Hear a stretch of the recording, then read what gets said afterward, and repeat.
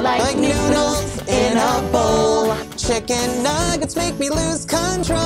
Cause they taste mm-mm, so good. Yeah! Dressing up as a giant pizza was like a dream come true. It doesn't get better than that. I remember Liz and I, Liz was the gigantic hamburger and I was the pizza, uh, having to maneuver ourselves, especially through doorways. It was very uh, hard. You know, I was a big triangle, so I kind of had to walk in sideways, and Liz was, you know, all over the place. But, you know, I think that Leon probably had the easiest time. He was just a big piece of pasta. Yummy, yummy.